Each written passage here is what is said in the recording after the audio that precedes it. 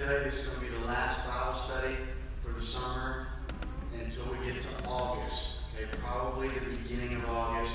Look for that in the bulletin. It'll be on Facebook. Probably put another ad in the paper because we're excited about how God's moving in this area Wednesday night. And now this was just kind of practice. Had like a practice run. And we think we can really take it to another level. So we're excited about it. Um, we're studying the book of Revelation, and it's uh, it's a tough one. It's a challenge, but it's good. And it's the only book that comes out bragging that God will do something special in your life if you read it, if you study it. So that's good news as well. So let's let's pray before we start. Lord God, we thank you that you are sovereign, you're in control. God, as crazy as it looks today in our world, you are absolutely sitting on a throne, uh, and you are going to win. Your purposes will, will prevail. Uh, we are thankful, God, that we're your children, your chosen children, that you love and care for and have a plan. So, God, we're thrilled again just to study your word. Um, and, and we just pray, God, that you would let it speak to our minds and our hearts. In Jesus' name we pray. Amen. well, I really don't have time to review. I think most of you have been here. Um, we're, we're about halfway done with Revelation. Good news is when we get to August, there's a good stuff in the second half of Revelation. There's some some rough chapters with the final wrath of God, but we're also going to get to see and look at the new heaven and the new earth and uh, many things like that. Uh, we're in a section of Revelation where God's wrath has begun.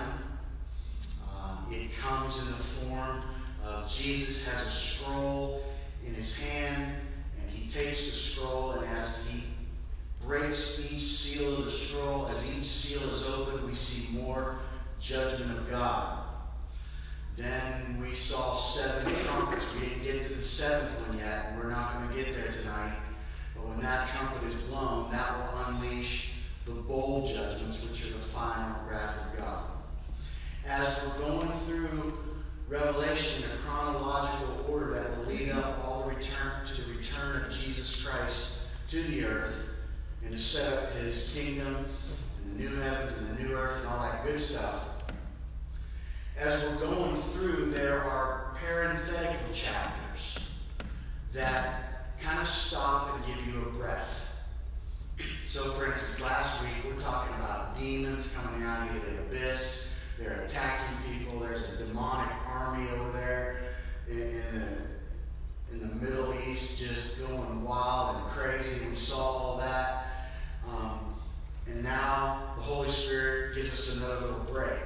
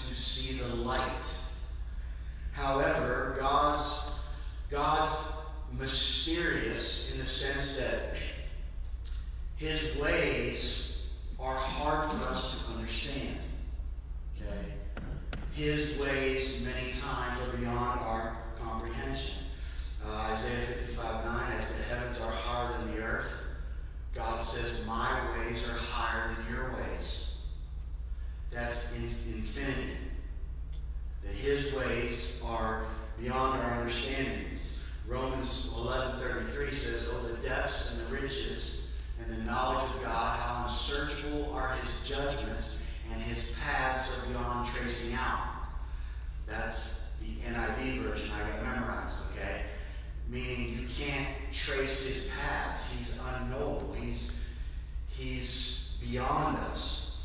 Uh, we'll get to Revelation 19, and when He comes riding out of heaven to the earth he has a name written on it that says that no one knows but himself. Meaning only God himself can understand him. Nobody in heaven, all these angelic beings we're seeing in Revelation, no one can fully grasp him. He is just that great. And so I just want you to keep that in mind. That's what this chapter is about chapter 10. First of all, let's look at this. let's look at the unusual messenger. Revelation 10, where we left off, verse 1. It says, Then I saw another mighty angel coming down from heaven, wrapped in a cloud with a rainbow over his head. And his face was like the sun and his legs were like pillars of fire. Here comes another magnificent angelic being. This angel is so powerful, so beautiful. Many Bible commentators interpret this angel to be Jesus Christ. Um, I don't take that view. I don't think it's that big of a deal. I think this angel represents Jesus Christ. Um, I do think we, we, need to get it right. Um, but I understand why they think this way. This angel, I believe, just has God-like, Christ-like characteristics. That doesn't make him Christ. He's a representative of Christ. He's just another angel. And nowhere in the New Testament is Jesus called an angel. Now, he's called the angel of the Lord in the Old Testament. And that's where people will say they take this view. But I think it says it's another angel, so this is just another one of the other angels that God has created. He's beautiful, he is magnificent, he has a job to do here. Um, he's robed in the clouds. Clouds are symbolic of glory. Um, Jesus is returning in the clouds of heaven, in the glorious clouds of heaven. This guy, he's robed in the clouds, it says. He has a rainbow above his head. God has a rainbow around his throne. When we think of the rainbow, what do we think of? We think of mercy and grace. We think of God's promise never to flood the entire earth again and destroy it in that way. His face is like the sun.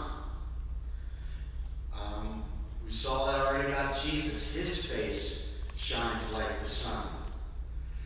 But if you remember, when Moses came down from the mountain after talking with God, his face was shining. That doesn't mean Moses became God. It's just he was around God. Therefore, his face was shining. And I just think that's why this angel's face is shining like the sun. I do think it's possible, you know, we keep talking about Gabriel and Michael because they're special angels with names. Um, Michael's name means one who is like God. I wouldn't be surprised if this isn't the angel Michael. It says his legs are like pillars of fire. We saw that at the. Legs and feet are the imagery of judgments because those who bring judgment are going to trample their enemies under their feet. Christ is going to do that. And so this angelic representative has that capacity. And I don't think it's surprising that angels are glorious and Christ-like to you. It's interesting to me, John has already seen the risen Jesus. Remember in chapter 1, he falls down and he faints. When we get to Revelation 19, another angel, another angel like this we're talking about, talks to John, and the scripture says that John falls down to worship him. He does it again in Revelation chapter 2. An, an angel, he falls down to worship him. That tells me that these angels are powerful looking creatures. And that John is thinking, but what I love about it, in chapter 19, you know what the angel says to John? He says, To get up, I am just a servant. And he encourages him to worship God. And I like that because I think that's good application for us. I mean, if these angels, and this is a big one, it's a powerful one, it's a beautiful one. And these angels that have these Christ like qualities and, and the wisdom that they have and the power that they have, they just consider themselves servants. I think maybe we should, no matter how smart we think we are, how beautiful we think we are, how powerful we think we are, we should consider ourselves worships, uh, servants of God and worship Him and alone. Number two, look at His unusual message. Verse 2 says he had a little scroll open in his hand. Is this another scroll? I think it's the same scroll. I think this angel has a little one. Think Jesus, we've already Jesus has the original scroll in his hand. But I think he's got a copy of it. I got a very big study Bible at home. And I got this little Bible I can carry around, but it's got the same words in it. I think that's all that is. There's no sense to be on a rabbit trail. This is a new scroll. This is, it's the Word of God. It's possible that it's a little because there's only a little bit of information left because we've already seen a lot.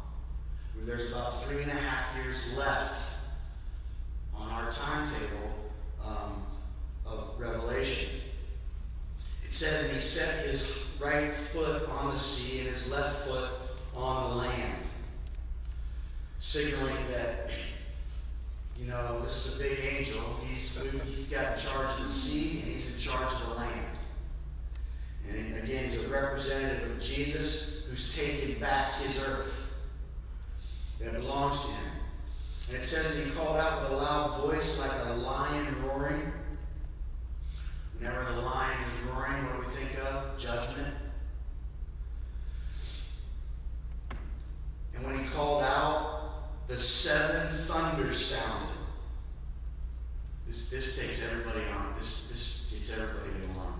The seven thunders sounded. We've seen that there's like these seven spirits before the throne of God, and there's seven, everything seven means uh, perfect and complete. When God, there's these rumblings coming from God's throne.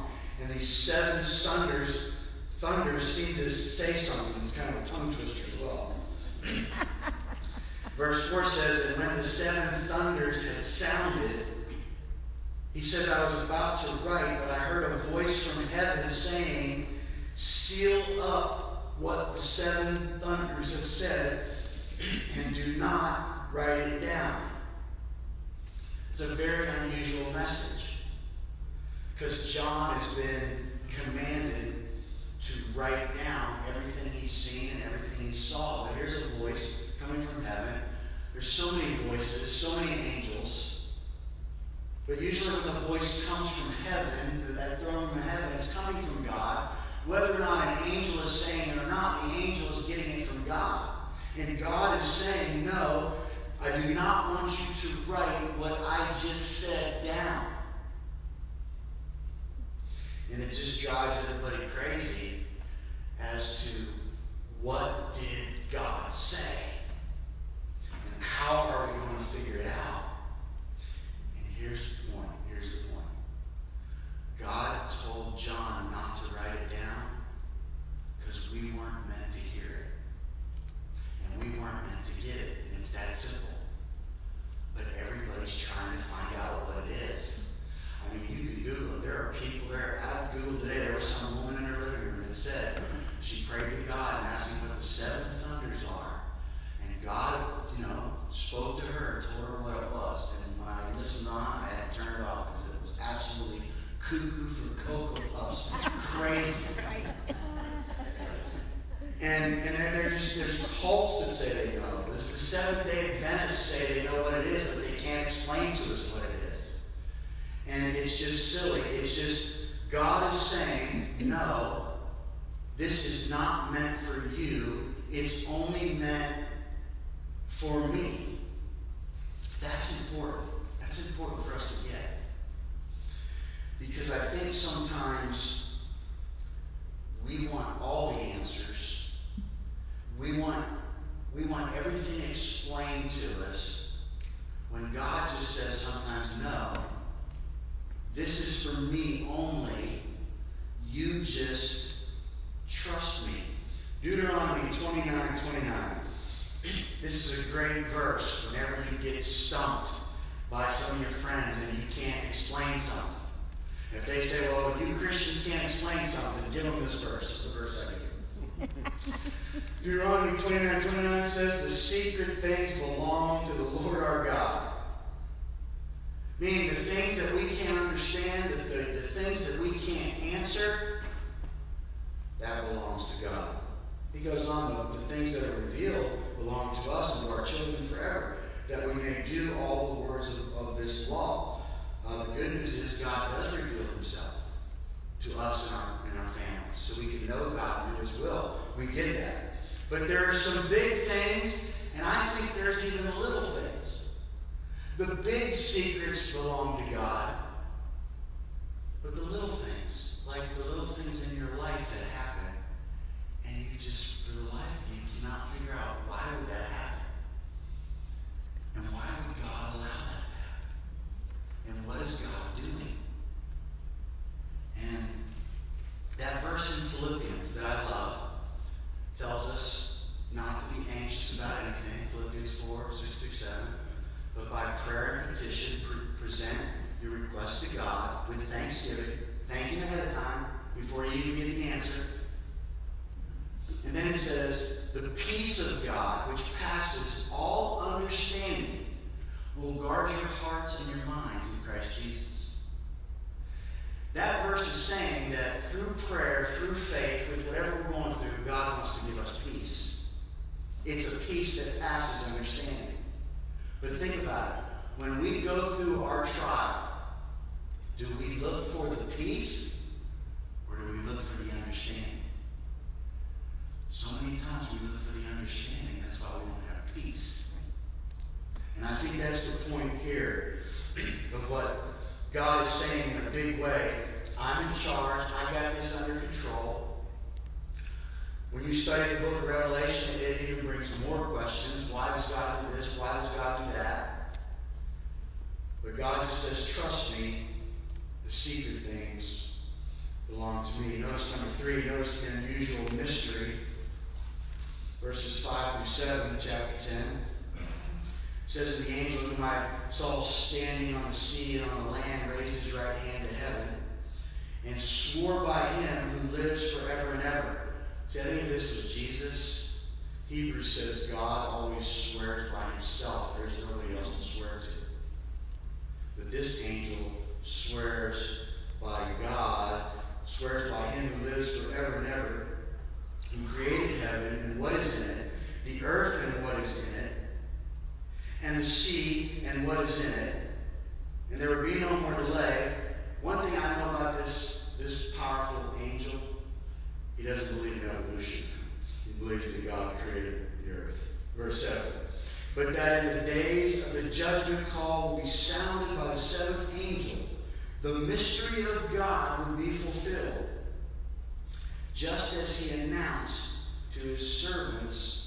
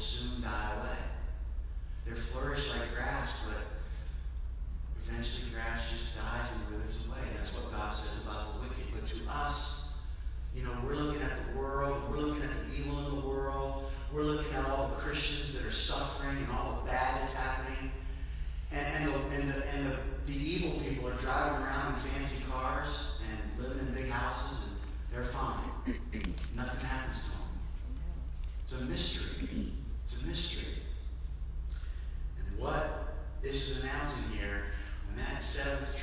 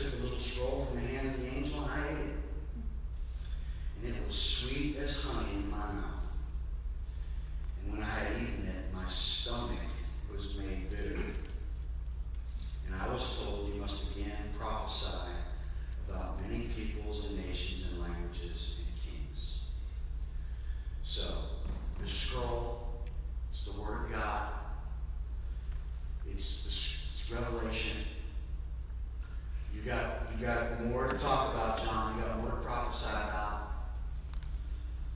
The imagery here is okay. I don't think John really ate a, pa- a paper papyrus made scroll. The imagery is God, John took the word of God and he assimilated it into himself. He took it in himself.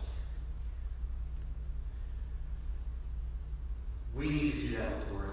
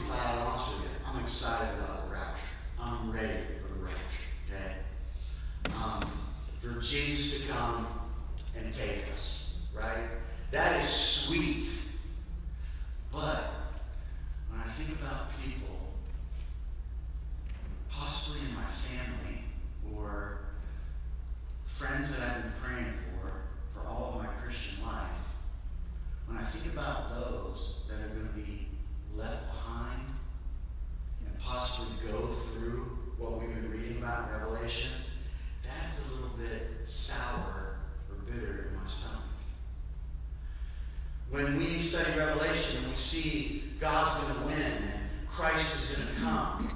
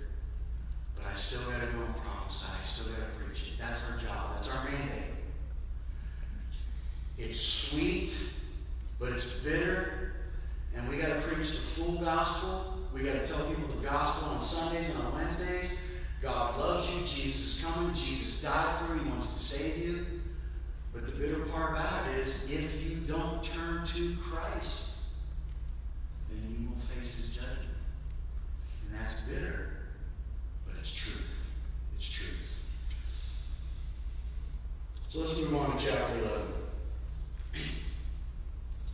11. um, chapter 11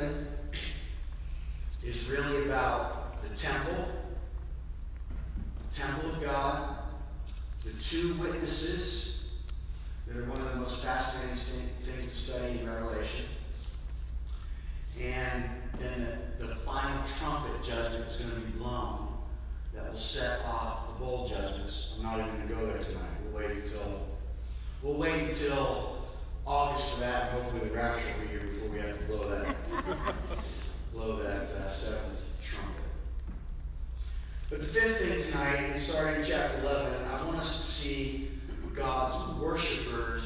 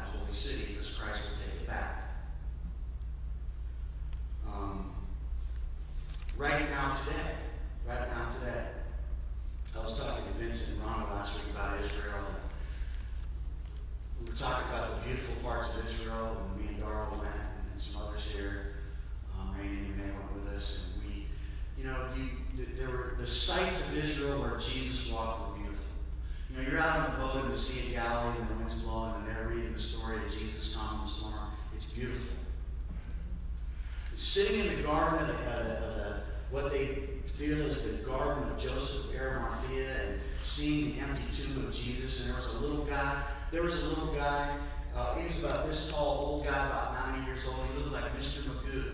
And listen, he preached a sermon on the resurrection. Was one of the most powerful sermons I ever heard.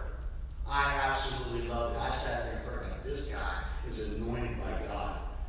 Teaching about the, revel- the, the resurrection right there in the tomb. It was so great. But right as you're, you're worshiping and thinking it, all of a sudden, the Muslim siren goes off. As you're sitting there worshiping Jesus, this Muslim siren goes off. It's time to pray the Muslim prayers. And I mean, it sound it is worse than nails on a chalkboard. And it's just, and you see the commercialism there. You see the, the people that are, I call make a buck off Jesus, selling all kinds of religious stuff, selling holy water that you can drink, selling trinkets that are magical, that's almost like witchcraft. And I'll tell you, Israel's a beautiful place, but man, it's it's being trampled by the Gentiles and unbelievers. And it's going to continue to get worse, especially when the Antichrist takes over that place. But even though that's going on, here's the main point of this God is measuring out his people. And even though the Jews in this temple are not worshiping properly, because they're in a temple given to them by the Antichrist, God is still saying, I love this. They're my people. Measure and mark them out. Because like the, like the, the prodigal son father, the prodigal son, his son's out there spending all the family's money eating pig slop. But the prodigals, the, that father just waited. They're going to come home. And God says, mark them out. They're a mess right now. They're listening to the Antichrist. But I'm waiting on them because their eyes are going to be opened. And they're going to come back to me. I love that about this. Um, now, you might, you might question and say, what temple? What temple? Because there is no temple. Um, you know, the temple, Solomon's temple, got destroyed. They, you know, they rebuilt Zerubbabel, they rebuilt it. And in the time of Jesus, King Herod, you know, kind of remodeled it. So they kind of had their temple then. The Jews had their temple. Um, and in AD 70, Jesus warned of this. The Romans came in and ransacked that temple. It's a judgment of God. There is no more temple. So what temple are you talking about? So another reason why after chapter 4, it's not even about the church, because the church is in heaven. It's about Jewish people. To this day, Jewish people, the Jew, there's a Jewish synagogue in our town. What is it called? Temple, Temple Shalom. Because it's a memory that they used to have a temple, but I'm telling you, they want a temple. There's a, there's a place in Israel called the Temple Institute. And the Temple Institute, right now, is making every utensil and everything that goes in the temple of God. They want their temple back. As you know, there's a little bit of a problem because you got the Muslims there on the dome, you know, the dome of the rock, right there where the temple used to be. But there are now people saying that possibly, if you measure the site right, it's possibly the Jewish temple can go up somewhere there. There's even talk of putting it in a different spot if they can't. They're so desperate for their temple. If they can put it in another holy spot, maybe that will do. Whatever the case, what do we know about the Antichrist? He's going to come, bring a false peace. He's going to bring a He's going to bring peace between Jews and Muslims. And when that happens, they're going to get their temple. By the way, we always think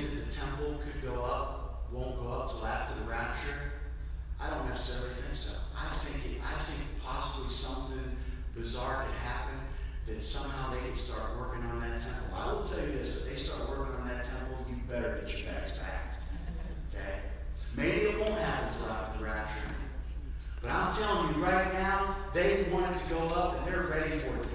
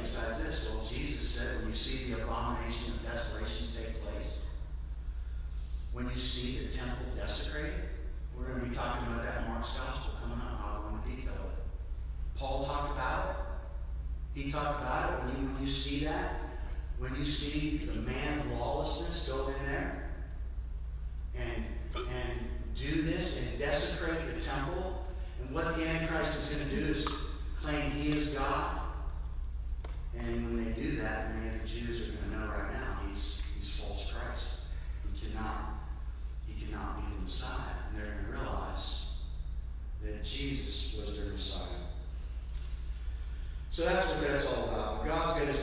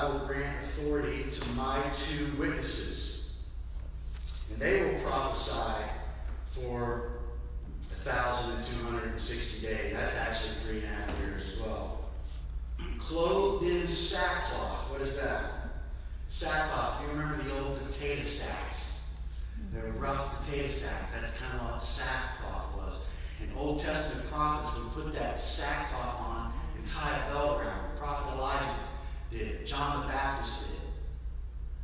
Um, so these guys are going to be dressed up like prophets. The world's going to hate them. They're going to be like John the Baptist in modern times. And it said, and, and they're going to be God's witnesses. And sackcloth is also in the Bible, whenever you see sackcloth, there's, there's repentance. When, when, when Israel sinned, they would put on sackcloth and repent. So, what is their message going to be, the two witnesses? Repent. Uh, to, to the people of Israel, repent. Turn from this Antichrist. Turn to the true Verse 4 These are the two olive trees and the two lampstands that stand before the Lord of the earth. Olive, olive oil is representative of the Holy Spirit in the Bible. When, and verse 4 is referring to Zechariah 4 that talks about olive trees, and there's like a pipe that goes directly to the olive trees. Um, into, into the lampstands of the temple that are filled with olive oil so it continually burn. In other words, the Holy Spirit never goes out. And the point is, these two men are going to be so filled with the Holy Spirit that they're going to turn the light on for the Jewish people to see. So they preach a message of repentance, filled with the Holy Spirit. By the way, in Zechariah chapter 4, the two men that were in that chapter that brought light to Israel was a high priest by the name of Joshua, not the Joshua that came after Moses, but this was a high priest in Israel, and a guy by the name of Zerubbabel was kind of a, a governor, a godly governor that helped rebuild that temple and get Israel back on away from false gods and worship the true God. This has caused some Bible interpreters to think that possibly the two witnesses could be um, Joshua and Zerubbabel, but I don't think so. I don't think so. They will be filled with the Holy Spirit like them. They'll be anointed by God to open people's eyes. But notice, notice their miracles. Notice their miracles says, And if anyone would harm them, fire pours out of their mouths and consumes their foes. Um, you've heard of bad breath.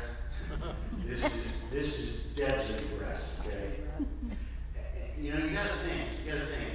These two witnesses, filled with the Holy Spirit. They, everybody knows they're Christian prophets. The world's going to hate them the Antichrist is going to want to kill them. How in the world do these guys live for even two days, walking the streets of Jerusalem preaching the gospel? Because if anybody tries to harm them, they just say, I don't think literal fire comes out of their mouth. I just say, I just think they say, you're dead. And they're dead. So you're not going to want to mess with them. It says, if anyone harm them, this is how he is doomed to be killed. Now watch this. They have the power to shut the sky, that no rain may fall during the days of their prophesying. And they have power over the waters to turn them into blood, and to strike the earth with every kind of plague as often as they desire. Now, if you know your Old Testament, what two prophets could do those things? Moses and Elijah. Elijah literally opened his mouth, and 50 men who tried to attack him dropped dead. Another 50 came, and they dropped dead too. We know that Moses turned the waters into blood. And so so if you want to know who are these two witnesses, I think just reading it, it's pretty obvious that it's going to be uh, Moses and Elijah, or or two men that are just like that. That could be possible. But but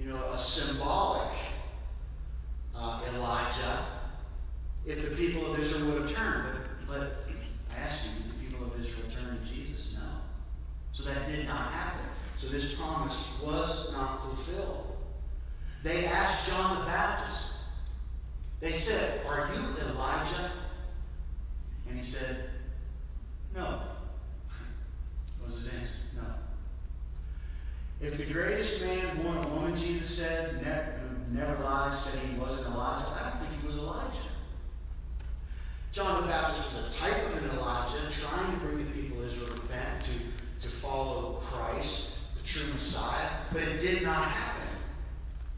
So that tells me that the prophet Elijah is yet to come. And think of, now think about this, okay? This is interesting. I'm almost done. When the Jews celebrated Passover, and they sacrificed the Passover lamb, and they set up their table for their family to remember the Passover and what God did in Egypt. They put a glass of wine on an empty chair, waiting for who? Elijah. Elijah. Jews to this day, right, when they celebrate Passover, they've got a chair and a cup of wine waiting for Elijah. Who better to turn Israel back to God than the prophet that they're waiting for to come? And think about this time. If Elijah walks the streets of Jerusalem and he calls out to the Jewish people and he says to them, I'm here. Thanks for saving me a chair.